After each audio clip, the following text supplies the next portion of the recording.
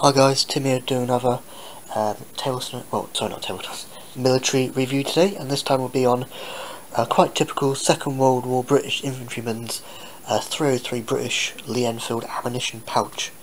And now this is just one of which you originally get two, you'll get say if the guy's um, you know um, torso is here you get one there on that side and then one on that side which side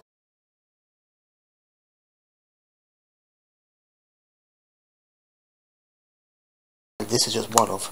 And now originally uh, the belt, which I do actually have a belt, but sadly I haven't actually brought it out at the uh, moment. Oh, it's over there, okay. Would basically the belt go right through there, and then you get like a little uh, mini strap, basically extension, which will go up there, and then you get other. Um, sometimes you get these, or you can get other ones which are multiple, multiple uh, pouches. You know, one on top of the other.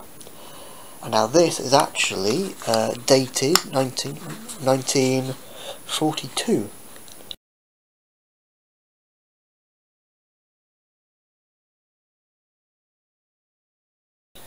There, so you never know, this might have been worn by a guy at Dieppe in August 19th, 1942. That, that, just like Dunkirk, failed attempt to um, relieve France from their um, well actually the second time really, to relieve France from their uh,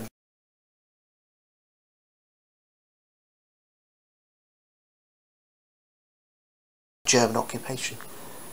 Um, but yeah, and also what I brought out from my own collection is this, typical Lee Enfield 303 British uh, clip, uh, just very standard um, date, uh, original dated rounds of this one's 1945. Uh, so yeah, in. So yeah, what would have done is, so basically this was how, this would have housed two clips, as you can see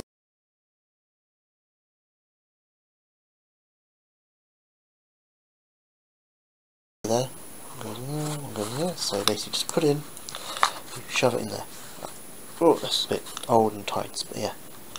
You shove it in like that, and then of course, you close it up like that and then of course there's hmm, does that sometimes it's annoying.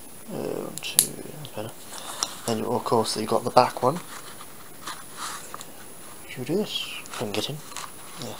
That's better. Yeah so we would shove in with ease like that. Then of course you get that one and you get another one which get flop, flops in there as well. Then of course you would close it up like that so they're in there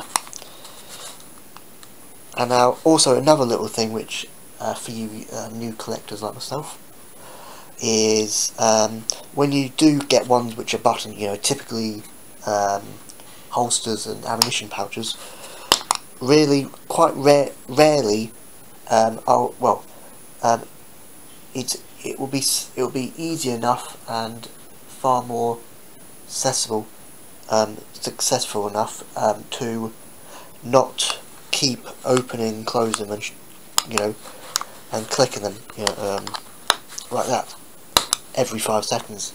Uh, because it might wear out the actual thing and these are just only lightly threaded on really.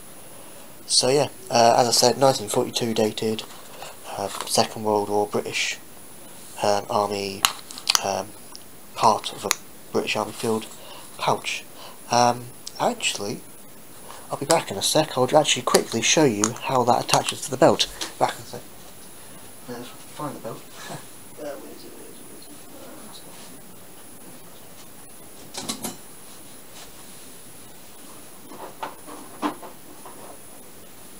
Here it is. I haven't done this for a while, so so this is a standard issue British um, military belt. I've also got naval one as well, 1940 something dated. Oh, so that's fine. So does this. Uh, might not be able to. Uh, actually, no, I'm not going to bother. So basically, you attach it on. Yeah. So basically, what you do is you attach it on. Um, like that. Put the first clip in and then the second clip in, which is very difficult. So all I'm going to do is just show that. Then it goes, of course, around the belt, around the person, like so, like that. So yeah. And also this is, I think, is a 19, say 19, hard to say, I think 1944 dated this one is.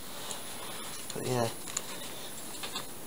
But yeah, um, well, that's really been it. A typical British Second World War um, through the British ammunition pouch. So, thanks for watching, guys.